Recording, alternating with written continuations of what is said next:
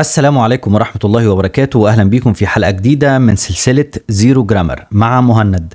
السلسلة اللي أنا عاملها للمبتدئين عشان نتعلم فيها قواعد اللغة الإنجليزية من البداية خالص بأسلوب سهل وبسيط. ونصيحة مني عشان تفهم الحلقة دي كويس لازم تتفرج على الحلقات في السلسلة دي بالترتيب. وأنا سايب لك السلسلة مترتبة في وصف الفيديو. يلا بينا. في الحلقة اللي فاتت عرفنا إيه هي ال subject pronouns. وفي الحلقة دي هنحل شوية تمارين مع بعض أكتر عشان نأكد على اللي إحنا خدناه وما ننساهوش خالص. في التمرين الأول مطلوب منك ترجمة كل الجمل اللي انت شايفها قدامك دي إلى اللغة العربية. هديك خمس ثواني عشان تفكر في كل جملة بعد كده هقولك على الترجمة الصحيحة. الجملة الأولى. She is my sister.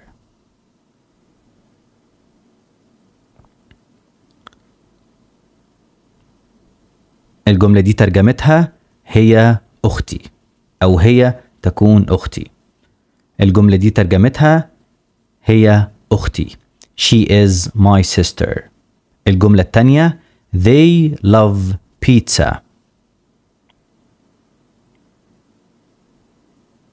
الجملة ترجمتها هم يحبون البيتزا أو هم بيحبوا البيتزا. الجملة الثالثة We are happy. ترجمة الجملة دي إحنا سعداء أو إحنا مبسوطين. الجملة الرابعة You are my kids.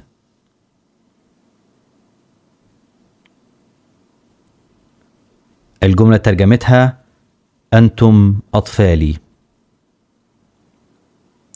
الجملة الخامسة He is a teacher.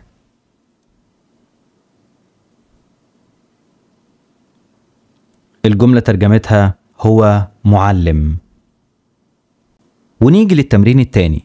وفي التمرين التاني مطلوب منك استخدام ال subject pronoun المناسب.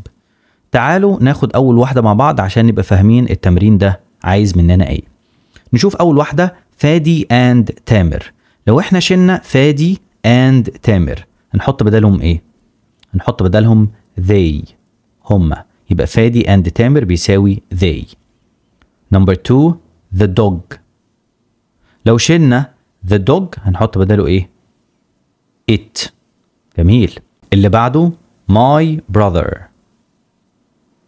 لو شلناها هنحط بدلها إيه؟ He.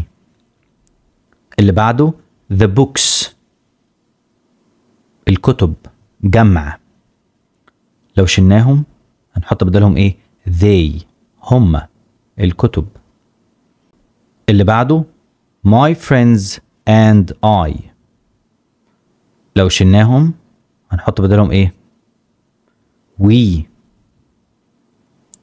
اللي بعده you and علي انت وعلي. يبقى حط بدلهم إيه؟ you. أنتم. طيب. you and I. انت وأنا لو شلنا الاتنين دول مع بعض هنحط بدلهم إيه؟ we إحنا. بمنتهى البساطة. وخلي بالك في المثال ده من حاجة. the books لما شلتها حطيت بدلها إيه؟ they. ليه؟ عشان هم هنا جمع. the books الكتب. لكن لو أنا قلت لك the book الكتاب لو شلته هتحط بداله إيه؟ تحط بداله it. بمنتهى البساطة لأن it دي للمفرد أما they للجمع. تعالوا نجيب حاجة كمان عشان نوضح المعلومة أكتر. المساحة دي. لو أنا قلت لك the pen القلم لو شلته هتحط بداله إيه؟ هحط بداله it. جميل جدا عشان هو هنا مفرد وحاجة غير عاقل. طيب لو أنا قلت لك the pens الأقلام. بتحط بدلها إيه؟ حط بدلها they. عشان هنا بتكلم عن الجمع. هما يا رب تكون المعلومة وضحت. ونيجي لآخر تمرين معانا. وفي التمرين ده مطلوب منك استخدام السبجكت pronoun المناسب في كل جملة. تعالوا نحل أول واحدة مع بعض. ليلى is a doctor. تعالوا نحل أول واحدة مع بعض. ليلى is a doctor. لو أنا هنا حبيت أشيل ليلى هحط بدلها إيه؟ she. يبقى أقول she is a doctor. يبقى ليلى is a doctor. هنشيل ليلى وأحط بدلها she. she is a doctor. هنخش على الجمل اللي بعدها. بعد كده هديك خمس ثواني عشان تفكر في الإجابة. بعد كده هقول لك على الإجابة الصحيحة. الجملة اللي بعدها. The book is red.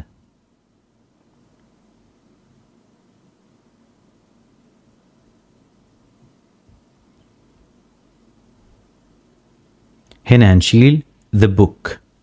نحط بداله إيه؟ it. يبقى the book is red بقت it is red. الجملة اللي بعدها my father is here.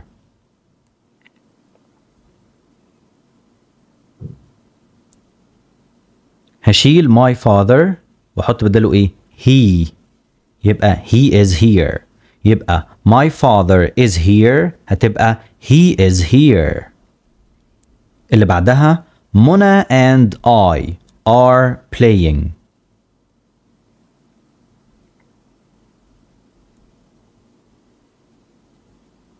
هنا هشيل منى and I واحط بدلها we we are playing منى and I are playing هتبقى we are playing الجملة الأخيرة The pens are on the table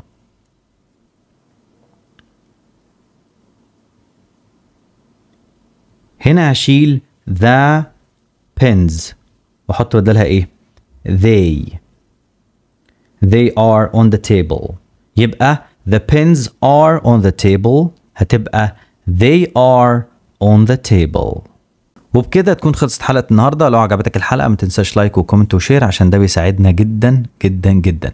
ولو حابب تدعم المحتوى ممكن تدعمه عن طريق Thanks أو Join الموجودين أسفل الفيديو. كان معاكم مهند سعيد. سلام عليكم.